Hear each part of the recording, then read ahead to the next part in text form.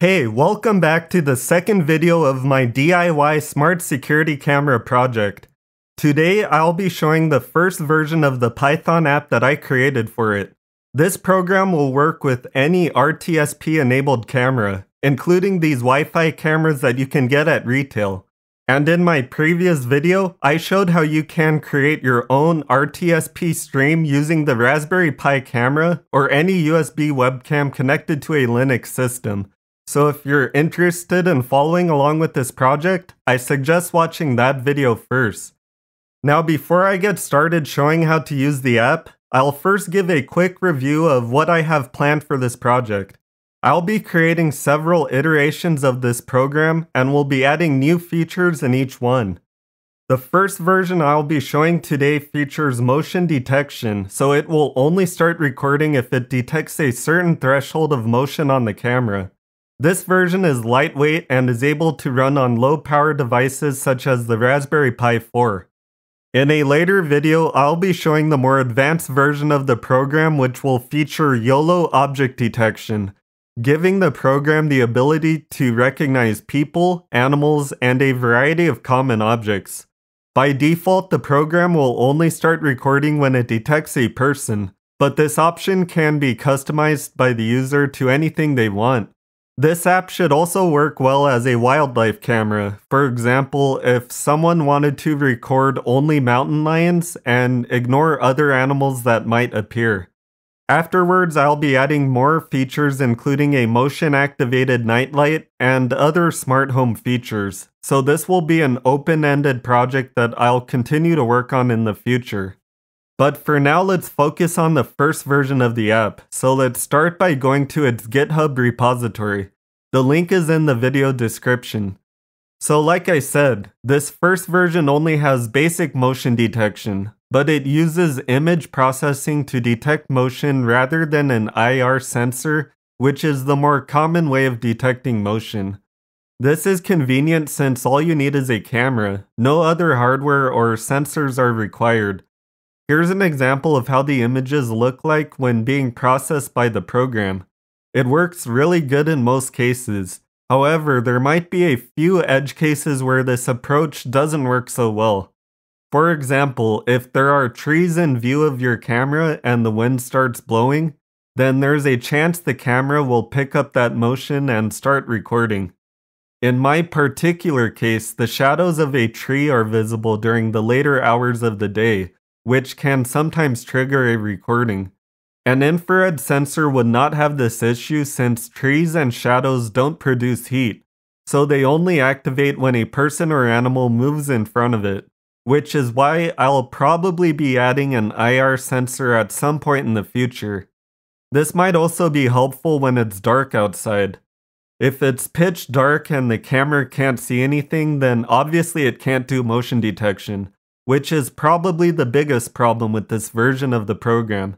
Unless you're using a camera that has automatic night vision, such as this special Raspberry Pi camera. Many of these Wi-Fi cameras also have automatic night vision features as well.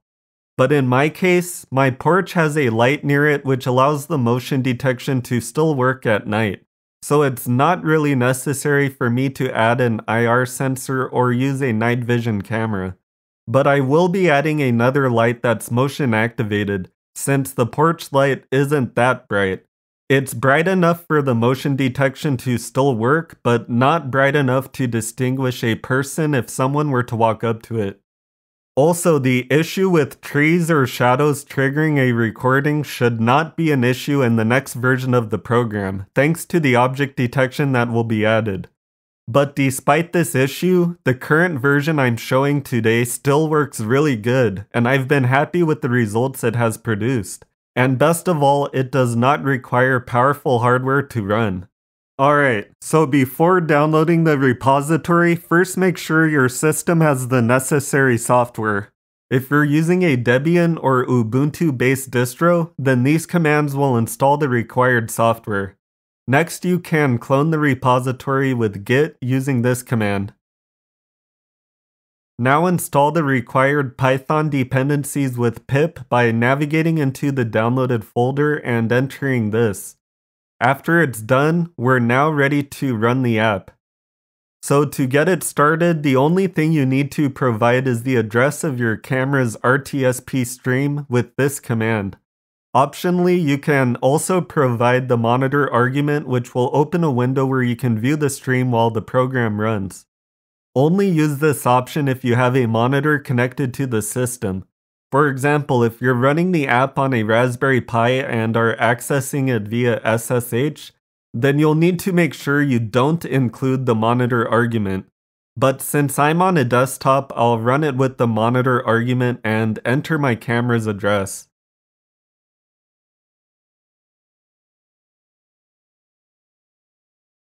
And now the app is running. Whenever it detects a certain threshold of motion, it will print a message to the terminal indicating that it's recording along with a timestamp, and will also print a message when the recording stops. So to demonstrate this, I'll now walk out to my front patio. You can see it started recording right when it detected motion, and it stopped recording shortly after I left its view. Once it detects that motion has stopped, it will continue recording for an additional 8 seconds before it stops. You can quit the program by pressing the Q key. Now let's take a look at the recorded video by going to the folder where the program is located.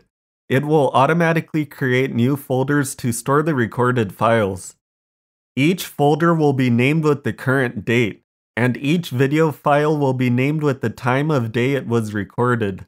So you can keep the program running indefinitely and it will keep everything organized nicely for you.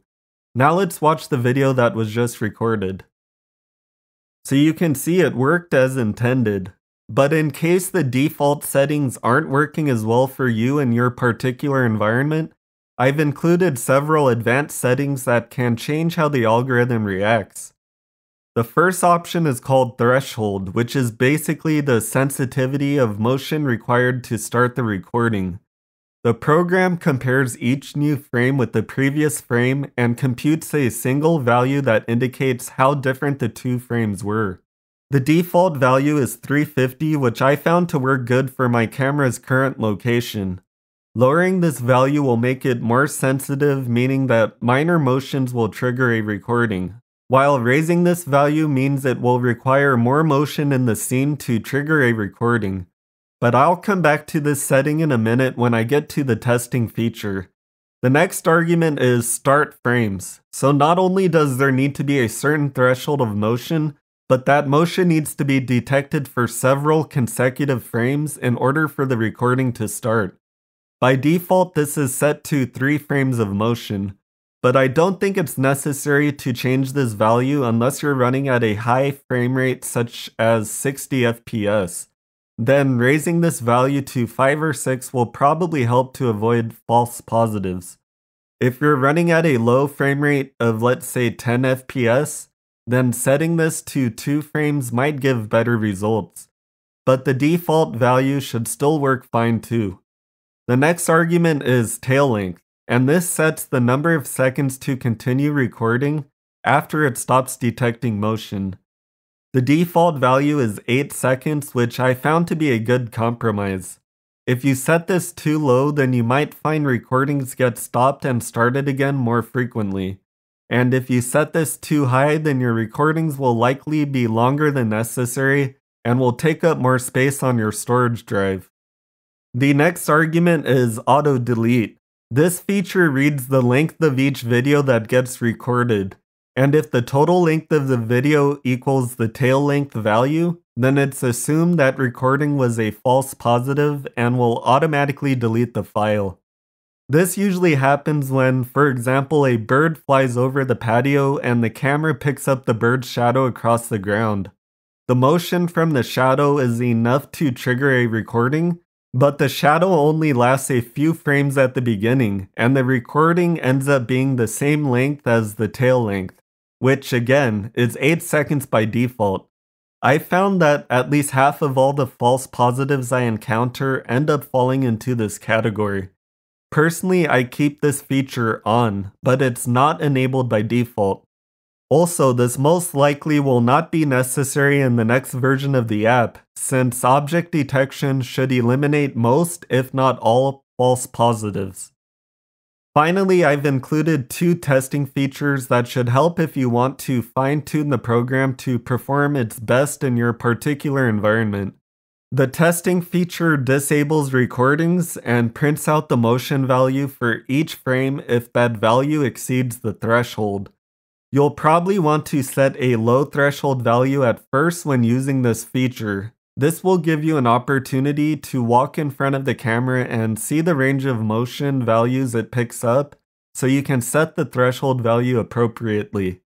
The goal is to set the threshold high enough so that only major movements will trigger it, such as you walking in front of its view. The last argument is called frame click, which is an additional testing feature. This mode should only be used with a video file, not a live RTSP stream, and it allows you to advance the frames in the video one by one to get a more accurate view of the exact threshold value that triggered the recording. So I'll demonstrate this by running it with this video file I recorded earlier. And I'll also lower the threshold value to, let's say, 50, which is pretty low. Each time I press down a key, it will advance the frame one by one, or I can hold down the key to advance through the frames more quickly.